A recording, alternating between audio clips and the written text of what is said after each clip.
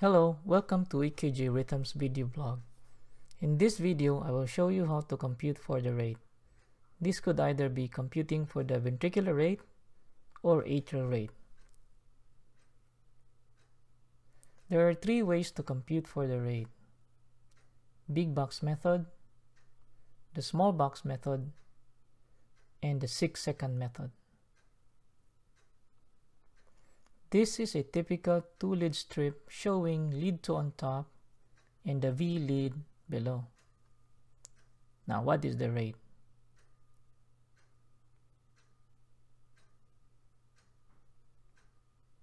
The big box method. The rate is computed by the R to R interval for ventricular rate or P to P interval for the atrial rate based on the big boxes it will fit. A RR interval of one big box is equal to 300 beats per minute.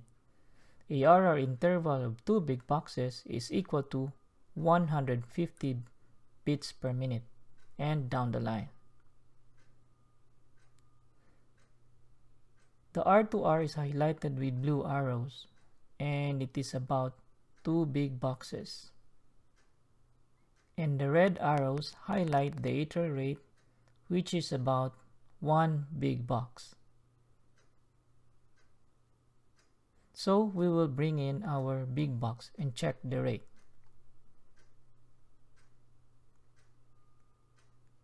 The ventricular rate is about 150 beats per minute and the atrial rate is about 300 beats per minute.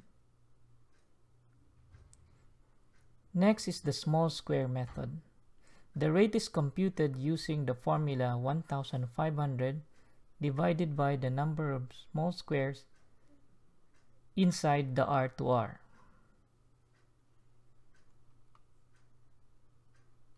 For the ventricular rate, there are 10 small squares in this RR interval.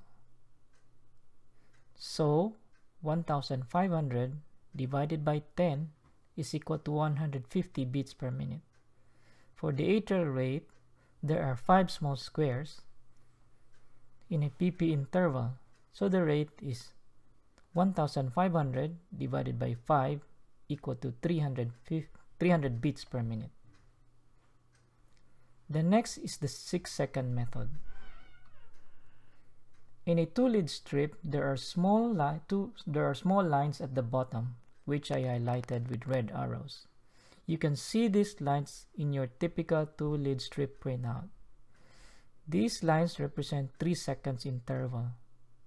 For the 6 second method, you count the number of R waves if you are computing for the ventricular rate or P waves if you are computing for the atrial rate inside the 6 second strip.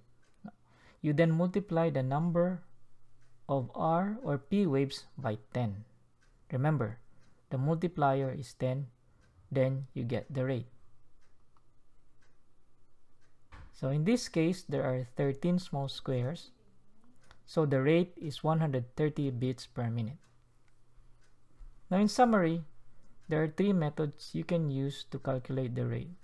The big box the small box and the 6 second method. It is easy to use and remember Thank you for watching the blog and please follow EKG Rhythms.